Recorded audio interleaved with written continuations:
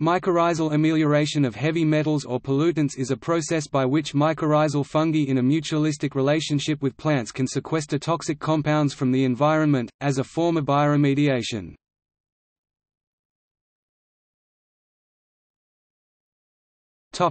Mycorrhiza plant partners These symbiotic relationships are generally between plants and arbuscular mycorrhiza in the Glomeromycota clade of fungi. Other types of fungi have been documented. For example, there is a case where zinc phytoextraction from willows was increased after the basidiomycete fungus Paxillus involutus was inoculated in the soil.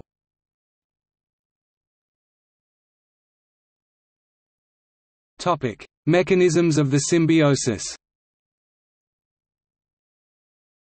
The mycorrhiza allow the plants a greater tolerance of heavy metals in part due to the increase in biomass that they help them achieve. The fungi also stimulate uptake of heavy metals such as manganese and cadmium with the enzymes and organic acids such as acetic acid and malic acid that they excrete into their surroundings in order to digest them.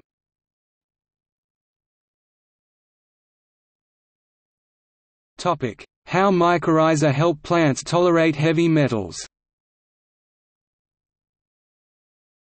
The fungi can prevent heavy metals from traveling past the roots of the plant. They can also store heavy metals in their vacuoles. However, in some cases the fungi do not decrease the uptake of heavy metals by plants but increase their tolerance. In some cases this is by increasing the overall biomass of the plant so that there is a lower concentration of the metals. They can also modify the response of the plant to heavy metals at the level of plant transcription and translation.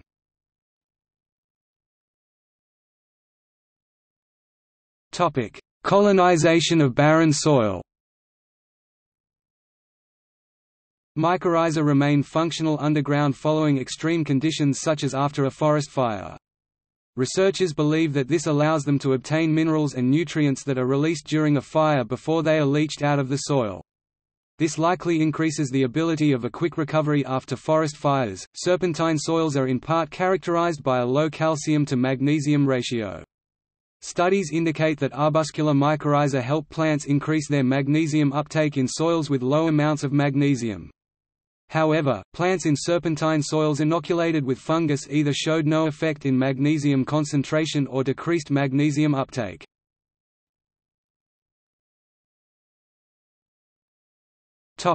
Resistance to toxicity Studies show that mycorrhizal symbionts of poplar seedlings are capable of preventing heavy metals reaching vulnerable parts of the plant by keeping the toxins in the rhizosphere. Another study demonstrates that Arctostaphylos uva ursi plants in symbiotic relationships were more resistant to toxins because the fungi helped the plants grow below toxic layers of soil.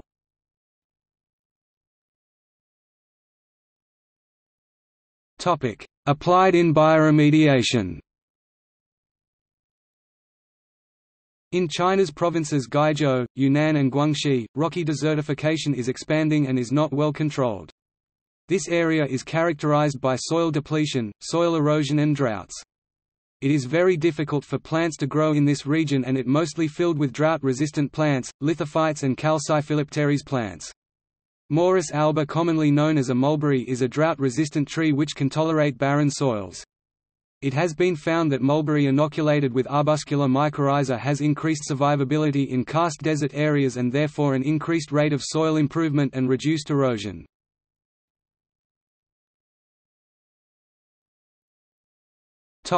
See also. Bioremediation. Mycoremediation Phytoremediation